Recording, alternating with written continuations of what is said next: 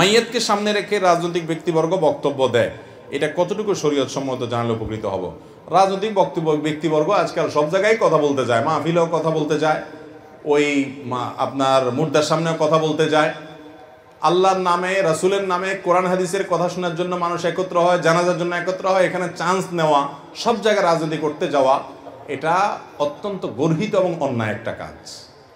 বিশেষ করে জানাজার সামনে রেখে শুধু রাজনৈতিক না, রাজনীতির বাইরে অনেক আলাপ সালাপ হয়। দেখা যায় যে ওখানে বসে বেহুদা অনেক কথা বলা হয়, এলাকার অমুকে কথা বলে তমুকে করা এটা রাজনীতির বাইরেও হয়। এগুলো উচিত না। কারণ নবী করিম সাল্লাহ সাল্লাম বলেছেন আসরিয়াবিল জাজানা জানাজা। তোমরা দ্রুততার সাথে জানাজার ব্যবস্থা করো। জানাজা খুব দ্রুত দাও। জানাজা দিতে দেরি করিও না। আপনার একটা জিনিস খেয়াল করবেন, জানাজার নামাজ হারামাইনে যখন আপনারা পড়েন, দেখবেন ইমাম সাহেবরা খুব তাড়াতাড়ি পড়ার চেষ্টা করে। শেষ তাকবিরটাতে দোয়াটা একটু লম্বা সময় নেয়। সাধারণত খুব তাড়াতাড়ি পড়েন।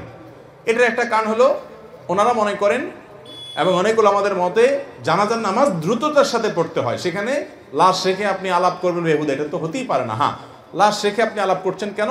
হয়তো লাশের কোনো গুরুত্বপূর্ণ আতক্ত সম্পর্কে আত্মীয় তিনি আসছেন, একটু অপেক্ষা করছেন তার জন্য। তাহলে ওই টাইমটাতে আপনি হয়তো না সিহা করলেন, সেটা ভিন্ন কথা।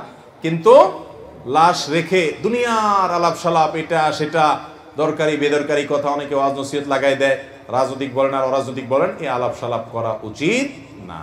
কারণ দ্রুততার সাথে জানাজা দিতে হয়। কেন দ্রুততার সাথে জানাজা শেষ করবেন?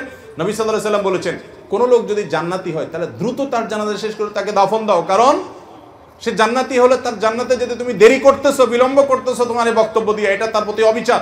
আর যদি সে জাহান্নামি হয়, আল্লাহ মাফ করুক, তাহলে এই লোককে দুনিয়া থেকে যত পার দ্রুত মাটির নিচে দাফন করে দাও, তত দুনিয়াবাসীর জন্য কল্যাণ। এই জন্য দেরি করা উচিত। ফজরের ফরজ নামাজের পূর্বে সুন্নত ছাড়া আর কোনো নফল নামাজ পড়া যাবে কি?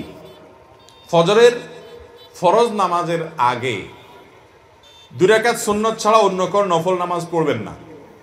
নবী করিম সাল্লাহ সাল্লাম ফজরের আজানের পর এই দুই রেখা সুন্নতি শুধু পড়তেন।